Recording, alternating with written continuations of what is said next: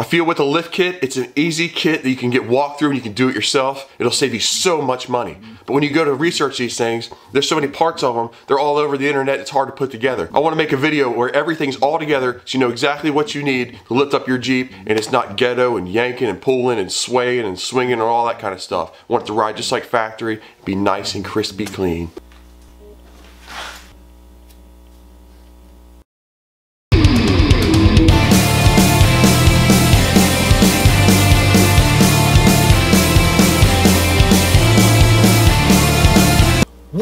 Guys and welcome back.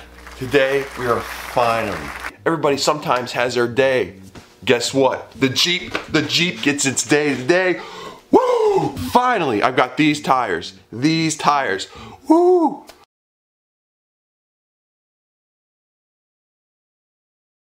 I've split this process into four different parts.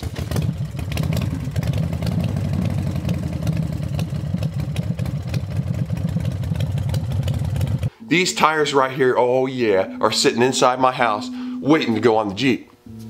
Problem is, there's not enough clearance, so we gotta lift it up. If you wanna know all the parts and all that, I'm gonna go over that right now. Obviously, you can pick different ride heights, two and a half to three and a half, three and a half, four and a half, six plus, whatever.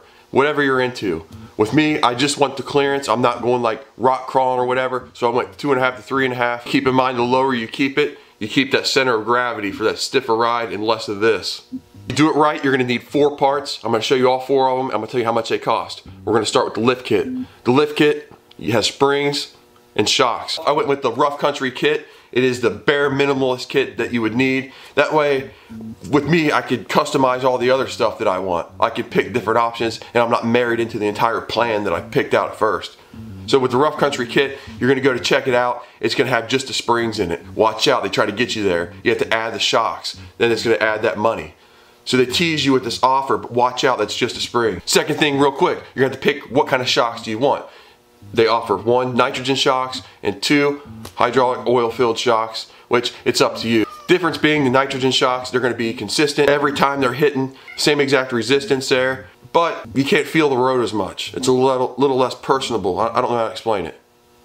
The oil-filled shock, it, it, you can kind of feel it. It, it has a, a slower roll to it and stuff, but as that shock just keeps going at it, it can foam up and you can kind of lose a little bit of that stiffness.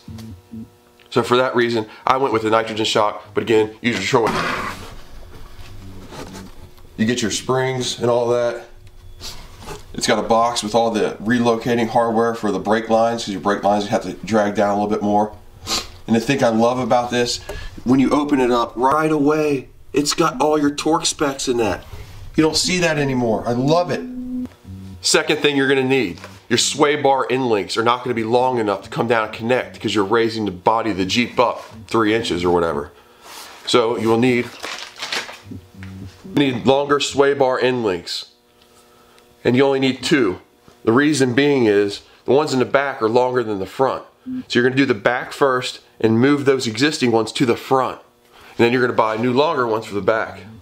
Make sure when you buy these that you get them for whatever lift kit that you're buying. If you're using a two and a half to three and a half inch lift, you can get these. It's a TeraFlex 744500. When you go to check these out, oh my God, they show a picture of two. You check them out, they're $44. When it comes to your house, you get one. Then you get mad and you go back and you look at the site and it says in small print, only includes one. That'll make your day. So make sure you check that out and you get two of them. So that's 90 bucks on top of what you've already got so far. Only other thing to note with these is you can get them with both ends like this for cheaper. You can get them with both ends like this for cheaper to save money. Or if you want full travel, you can get that little bushing on there you got a track bar back there that sits level with the axle. So when you jack it up, that thing gets stretched up. And what it's gonna do is it's gonna pull that left side in and your Jeep's gonna pull to the left constantly. So if you have somebody now that has a jacked up Jeep and thing's always pulling around, tell them to get it rear track bar bracket. Come on, bruh. This one here is a rough country as well. Part number is 1167. Nice thing about this, this by the way was about 46 bucks. So we're gonna put this back for that track bar to sit in, mount to the Jeep like that, and it's got three holes. The bottom one's for two and a half to three and a half inch lift. The middle one is for four and a half to five and a half. The top one is for six plus. So again, this is a nice option because next year if I want to go up higher, jack it up higher, or whatever, already got it ready to go. Last part you'll need, it's optional, but it's kind of poser if you don't. If you didn't do a spare tire, come on man, get the spare tire. you gotta have the five if you're gonna do a Jeep. Don't keep that factory thing on there.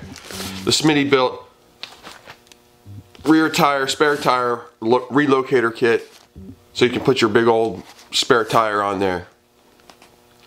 Now eventually I'm gonna get me a big heavy duty rack to put it on, but I kind of ran out of money buying all this crap. So for now, this will just have to work. And this will probably be in the next video when I put the wheels on, because this one's gonna get pretty long and we're gonna go install it right now. All right, check it out. We got a lot of work to do. We're gonna knock this out. Let's go install this. Uh, you need to click that subscribe button because in the next video, I'm not gonna make a half hour video and make you sit through it. We got the lift kit on. You gotta check back. We're gonna take these 35s, these new wheels, all the way around. We're gonna put them on. That is all I have for today. Thanks for watching. If you liked the video, leave a like, comment, subscribe. If you didn't like the video, make sure you check out the people I'm on the bottom of my channel called Bad Mofos. Hours and hours of fun. Check them out, check them out. Whoa!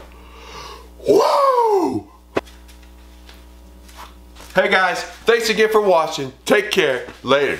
Peace.